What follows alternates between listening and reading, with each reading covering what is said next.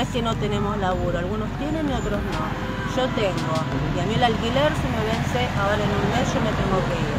No puedo alquilar ganando 900 pesos por semana. No puedo alquilar en ningún lado.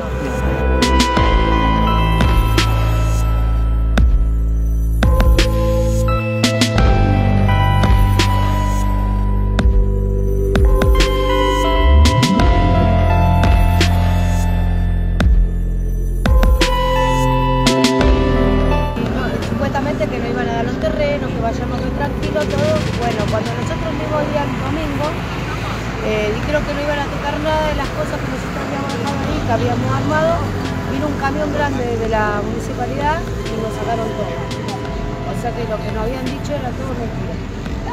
Fuimos el día lunes, nos, dijimos, amenazaron que si nosotros no íbamos de nuevo a los lotes, íbamos todos por la noche eh, aparecen los patrulleros con la policía golpeando los colchones, pateando los colchones, los llevan detenidos, los golpean, los obligan a firmar cosas sin leer.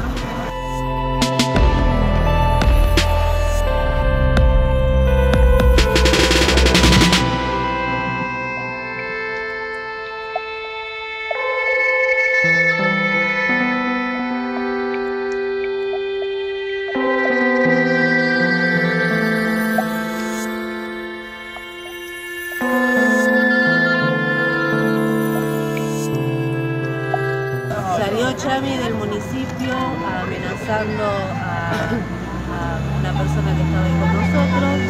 Nunca quiso hablar con nosotros. Nosotros le pedimos de, de ¿por qué no quiere charlar con nosotros? Entonces eso es lo que yo quiero que me explique este señor Chami, por qué se niega a sentarse con las familias